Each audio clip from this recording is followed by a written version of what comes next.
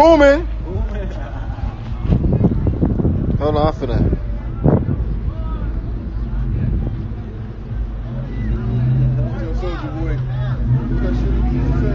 You.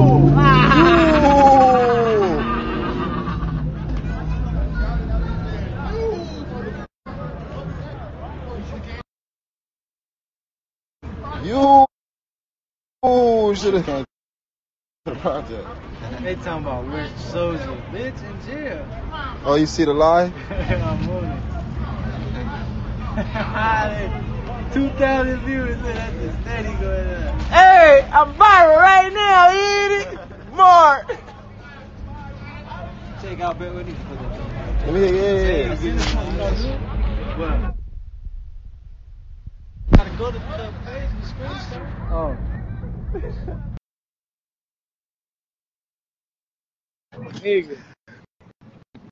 Yeah. He, he, he ain't fucking with it. He's scary. Get your bitch ass on then.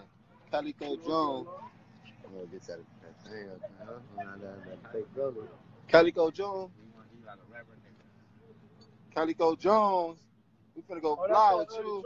Jerry be looking good. Same. That's that Detroit freestyle nigga, cuz. Yeah, Calico Jones. Oh, Trying to bring y'all to the trenches. Y'all see we out in the middle Check of that nowhere. bankroll J out. Middle man. of Love nobody. Baghdad bullshit. Y'all see it over there? Baghdad. Check that bankroll J out. Love nobody. Man. These niggas, these niggas, these niggas, these niggas scared. They, they, they, they think Big Soulja gonna get them touched or something. You gonna see what famous nigga. Oh, we see him. We got one. Where you at? Where you at? Oh, we got YK. Yeah, we got my boy. You man, man, you gotta come by live with a nigga. My boy, we finna see some pennies off one of you hoes. Man, go live with us. Oh, sorry, we finna see, we finna, we seeing to see some pennies off. One of you.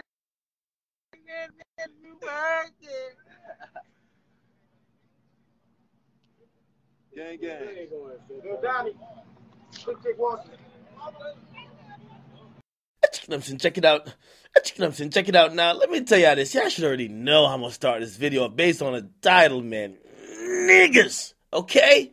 Niggas are only as loyal as their last fucking meal, and if you don't feed them last, or if they hungry and you not around to feed them, expect no fucking loyalty, okay?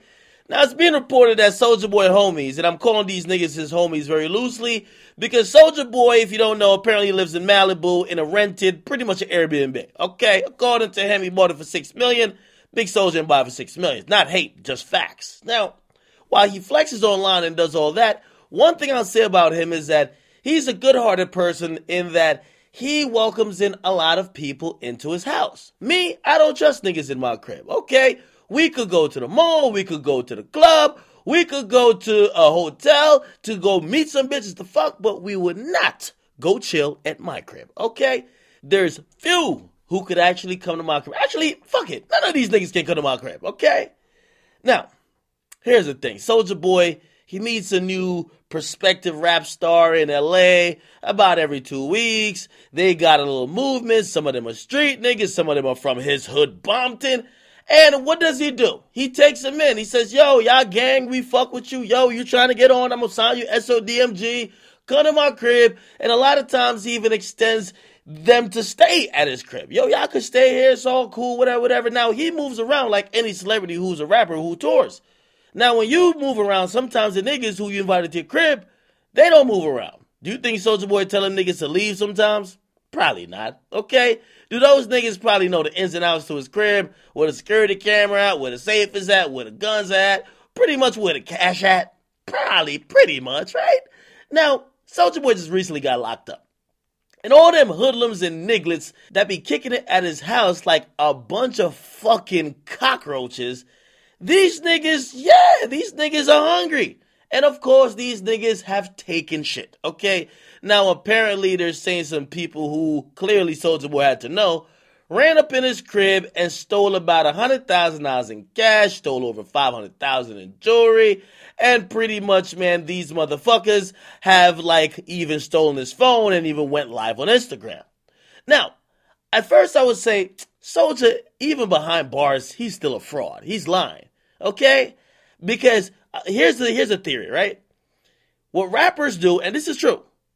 When you buy a bunch of jewelry, five hundred thousand dollars worth of jewelry when you hear it in the media costs the rapper like a hundred thousand dollars. But it's appraised for five hundred thousand dollars because it's insured for five hundred thousand dollars. So if it ever gets snatched, you lose it or whatever, or it gets stolen, right, burglarized, you could then tell the insurance company to give you half a million dollars. However, this is why I think this might not be the fucking case. Because if your homies is in on it with you, right? Why would your homies then go on Instagram Live?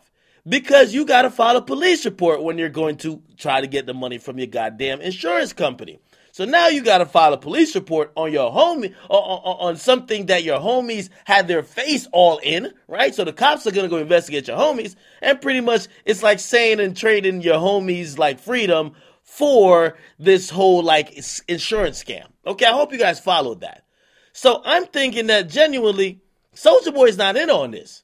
This is actually a bunch of niggas who probably knew Soulja Boy a little bit. They ran up in his crib, probably knew some niggas who knew the whereabouts of his crib and like how to get in and move around. They robbed the nigga. Very sad and unfortunate because Soulja Boy is learning probably the same thing that Nipsey probably didn't get to learn. You can't trust these niggas, okay? And whether you're in your hood of Bompton, okay, or near your hood like Big Soulja, or you're even in your hood like where Nipsey was at, you just can't trust these niggas, okay? I'm hoping Soulja Boy get his shit back, hundred thousand dollars in cash and five hundred thousand dollars in jewelry. But before he gets it back, somebody get that damn jewelry, a goddamn diamond tester because when Soulja Boy was up on Everyday Struggle, most of them goddamn jewelry sounded like it was pots and pans. So, hopefully he gets out of jail soon and he gets all his possessions back. And maybe from now on, when he gets an Airbnb worth like $6 million, maybe he'll stop inviting the whole fucking hood to come kick it in there with him. All right? By the way, let me tell you this. Go look at Soulja Boy last like 20 videos. They're all shot in the fucking mansion. So that might be smart.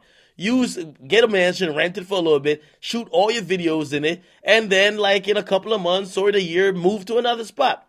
That's a recording expense. That might be smart. However, it's not smart when you got your homies all up in your crib that they know your shit that they could rob your ass. Why all these robberies always happen in LA? It seems like only in motherfucking LA and California, niggas always breaking into shit. Niggas always stealing shit. What the fuck is going on?